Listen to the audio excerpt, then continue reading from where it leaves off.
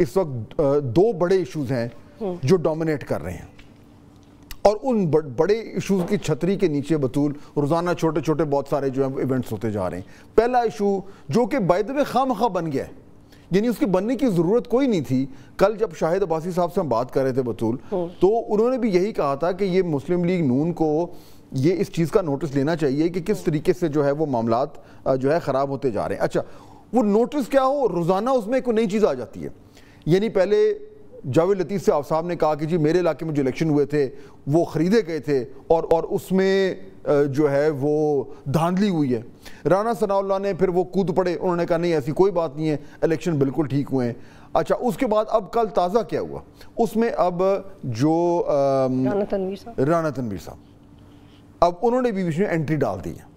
इस, इस तनाजे में अगर कोई कमी रह गई थी यानी ये मुस्लिम, मुस्लिम लीग नून का बतूल ये टोटल जो है ना वो सो कंपटीशन चल रहा है। पीटीआई पीएमएलएन में कि कौन ज़्यादा तनाजे पैदा कर सकता है? लग तो ये यानी मुझे तो लग रहा है कि ये ये जो इशू चल रहा है ना पीएमएलएन का हम्म। वो जो राना तनवीर ने जो काम वो भी सुनवाते हैं। हम्म। लेकिन मुझे ये लग रहा है कि बहुत जल्द ये न्यूज़ चैनल से हटकर एंटरटेनमेंट चैनल में चला जाएगा। क्योंकि जिस तरीके की रोज़ाना की हम भी मजबूर हो रहे हैं इसी पे बात करें। हाँ कोई प्लॉट ट्विस्ट आ जाता है कोई एडिशन आ जाती है फिर कोई जिस तरह ड्रामा में नहीं होता फिर कोई नया कैरेक्टर है वो इंट्रोड्यूस हो जाता है फिर उसकी कहानी चल पड़ती है हम्म। राना तनवीर साहब ने कल क्या कहा इसमें याद रखिए कि राना तनवीर साहब और जो जावेद लतीफ़ साहब हैं दोनों का ताल्लुक शेखुपुरा से हम्म। अच्छा उनके ना हल्के भी साथ साथ है उनमें हमेशा कोई ना खटपट चलती रहती है कभी टिकट की डिस्ट्रीब्यूशन कभी कोई और मसला तो अब उसमें जब उन्होंने ये कहा जावेद लतीफ़ साहब ने कि जी शेखुपुरा में तो जो हल्के हैं उनमें धांधली हुई है पैसे देकर वो उनका रिज़ल्ट आया है।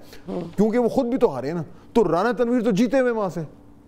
तो वो ज़ाहिर बात है अब वो कैसे चुप रह सकते हैं? अच्छा यही बात हम भी कल हम भी कर, कल कर रहे थे कि वो जावेद लतीफ़ साहब जब भी बात करते हैं तो ये तासर जाता है कि वो नवाज़ शरीफ साहब के हवाले से बात कर रहे हैं या उनका क्योंकि वो उनके उनका अतमाद है उन पर नवाज़ शरीफ साहब का उन पर अतमाद है वो उनके कॉन्फिडेंट भी हैं वो जब भी बात करते हैं जब नवाज़ शरीफ साहब जिला वतन थे लंदन में थे हम्म। तो सबसे ज़्यादा प्रेस कॉन्फ्रेंसेस कौन करता था कि जी उन, उनका रोल उनको वापस आने वाले सबसे डेडलाइंस भी उनके आने की डेडलाइंस भी वही देते थे। हम्म। तो जावेद लतीफ साहब एक तरीके से गैर एलानिया तर्जुमानी उनकी करते थे। अब जब वो ये बात कर रहे हैं तो ज़ाहिर सी बात है बतूल के लोगों ने कहना है कि जी ये क्या नवाज़ शरीफ साहब भी यही सोचते हैं? और क्या उनके ये तहफ़ात हैं और उनको भी इस तरीके से ये ख़दशा है कि जी ये इलेक्शन जो है उसमें उनकी गवर्नमेंट तो चाहे उनकी पार्टी तो शायद हुकूमत में आ गई हो लेकिन सियासी तौर पर उनको जो है वो नुकसान हो रहा है तो अब ये राम कहानी जो है ये चल रही है इसके प्लॉट ट्विस्ट हो रहे हैं और हमें अभी तक एक इंडिकेशन नज़र नहीं आई। और ये भी कहा था जावेद लतीफ़ साहब ने आप जिस इंटरव्यू का हवाला दे रही हैं कि मेरा जो पहली मोहब्बत है वो नून लीग ही है। हाँ। लेकिन राना सॉरी राना तनवीर के इस बयान के बाद लगता है कि लव ट्रायंगल है जो कि बिल्कुल की तरफ़ जा बिल्कुल ऐसे बना हुआ है और उसमें और उसमें जो नवाज़ शरीफ साहब हैं वो ज़ाहिर बात है मुल्क से बाहर हैं हम्म। अब देख सवाल ये पैदा होता है कि जो हर ये जो एक रोज़ तमाशा बन रहा है देखें ना हम्म। अब कितने दिन हो गए हैं कि मैं आप और हमारे बहुत सारे कॉलीग्स जो शो शोज़ करते हैं वो इसी मामला पे बात कर रहे हैं इसी पे बहस हो रही है इसके बजाय कि कोई इकनॉमिक पॉलिसी पे बात हो आप सोचें रतूल के वज़ीर ख़जाना जो हैं वो एक अहम दौरा कर कर अमरीका से वापस आ गए हैं।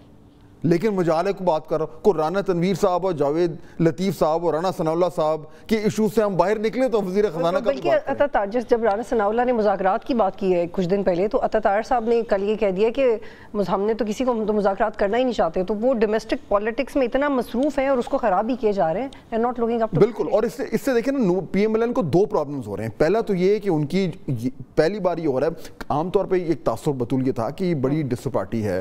पी टी आई में तो हर बंदा लीडर है ना हम्म। वो जिसका जो, जो दिल करता है वो बोलता है अभी मरवत साहब के हवाले से जो आप देख ही रहे हैं क्या हो रहा है हाँ। लेकिन ये पहली बार तो नहीं हो रहा जब गवर्नमेंट में भी थे तो पीटीआई को एक बंदा उस तरफ़ जा रहा होता था एक बंदा उस तरफ़ जा रहा होता था हाँ। नून नून लीग के बारे में कहा जाता था कि बड़ी डिसिप्लिन पार्टी पार्टी है अगर इनके इख्तलाफात भी हैं तो पब्लिक में नहीं आते वो बंद दरवाजों के मामला को तय कर लेते बिल्कुल और जो हम तजिया कर रहे थे कुछ अर्सा पहले कि बड़ा एक पेज की बात है एस्टेब्लिशमेंट की सपोर्ट है शबाज शरीफ भी डिटर्मेंट है हम्म। लेकिन उसमें जो इनके ग्राउंड्स हैं वो शेक कर रहे हैं इन स्टेटमेंट्स की क्योंकि जो एक तासर है जमात का वो वो ये जा रहा है कि उस वो जमात खुद भी इस मौजूदा सूरत हाल में कंफर्टेबल नहीं है।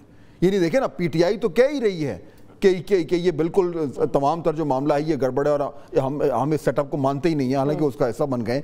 पीपल्स पार्टी का ज़ाहिर बात उन्होंने अपनी डेढ़ ईंट की मस्जिद बना ली है सिंध में। वो तो सबसे मज़े में तो वो है। वो क्या क्या कहते हैं वो पाँच उंगलियाँ घी में और सर कढ़ाई में। वो एक्चुअली इन्हीं का है पीपल पीपल्स पार्टी वालों का अच्छा। बिल्कुल वो बिल्कुल वो हर वाले से दुरुस्त है लेकिन अगर पीएमएलएन जिसने फेडरल गवर्नमेंट और पंजाब गवर्नमेंट बनाई हुई है अगर वो खुद उसका ये तासर आता है कि वो अनकंफर्टेबल है सेटअप में तो फिर पीछे तो कुछ नहीं रह गया। तो यानी कि अगर कोई पीएम अगर पीएमएलएन के लोग समझते हैं कि जी, ये जो राना सनाउल्ला साहब का और जावेद लतीफ़ साहब का और राना तनवीर साहब का जो रोज़ाना के दिन, रोज़ाना की बुनियाद पे जो एक चपकल चल रही है, ये कोई साइड इशू है, इससे कोई फ़र्क नहीं पड़ता। ये टॉक शो की जीनत बनेगा, फिर ख़त्म हो जाएगा। अभी खुरम दस्तगीर साहब को मैं सुन रहा था, अभी थोड़ी देर में हमें ज्वाइन करेंगे। वो कह रहे थे इलेक्शन का मामला है, चलें वो मध्यम हो जाएगा, ख़त्म हो जाएगा।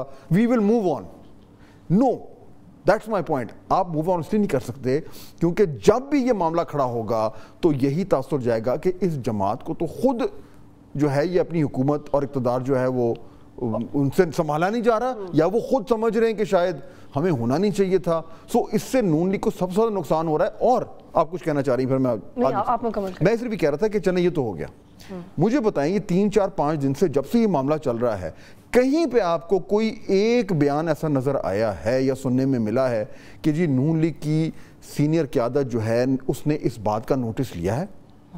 और अब वो इस मामले को रिजॉल्व करने की तरफ़ जा रहे हैं। आपने तो ज़्यादा इस, इसके कंक्लूजन की तरफ़ आप चले गए और आपको लगता है कि शायद वो इसको हल करें लेकिन मेरा दिमाग अभी यहीं पर अटका हुआ है कि ये ऐसा कर क्यों रहे हैं?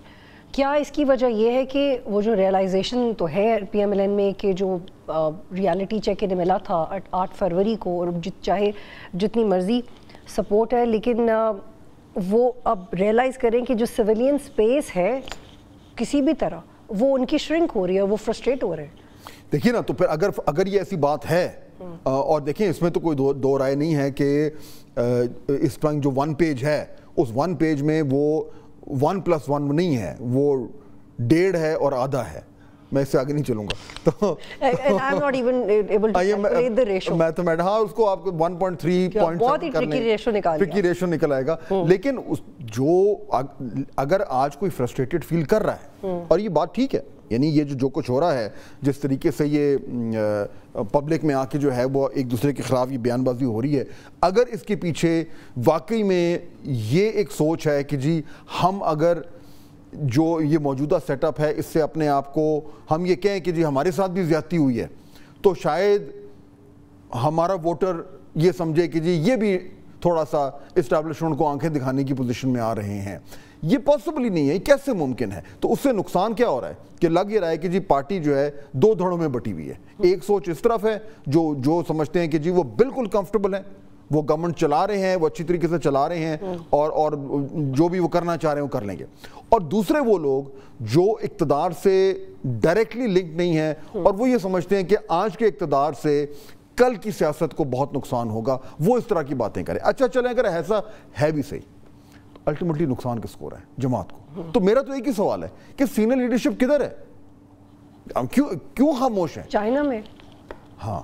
ये सवाल आपका जवाब बिल्कुल ठीक है। सीनियर लीडरशिप चाइना में है और चाइना में शायद वो ये मॉनिटर नहीं कर रहे कि क्या हो रहा है। क्योंकि देखिए ना जो न सिर्फ़ ये कि ये ऑप्टिक्स के लिए ख़राब है न सिर्फ़ ये कि रोज़ाना की बुनियाद पे कई घंटे टेलीविज़न पे आके हम सम, तमाम लोग जो हैं वो इस तरह की बातें करके नून लीग के परसेप्शन को, को, को बिल्कुल जो एक रुख है उसको उसको उसको चेंज कर रहे हैं। बल्कि उसमें ये भी इशू है कि नून लीग इसकी बजाय कि वो चीज़ों पे फोकस करे, जिससे वो अपनी गवर्नेंस को प्रोपोगेट करें। वो ये शो करे, जैसे हमारा तो जी our own house is not in order